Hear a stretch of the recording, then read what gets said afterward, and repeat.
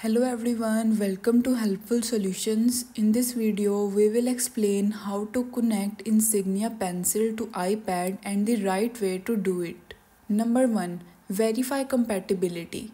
Ensure your iPad model is compatible with the Insignia Active Stylus. Compatible models include iPad Pro since 2018, iPad Air since 2018, iPad Mini since 2018.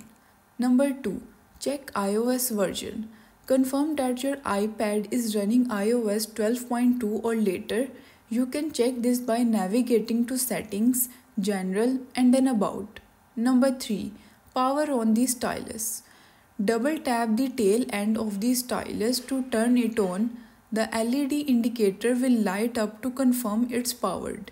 Number 4. Start using the stylus. Once powered on, the stylus is ready to use. There is no need to pair it via Bluetooth. Simply use it directly on your iPad screen. Thanks for watching.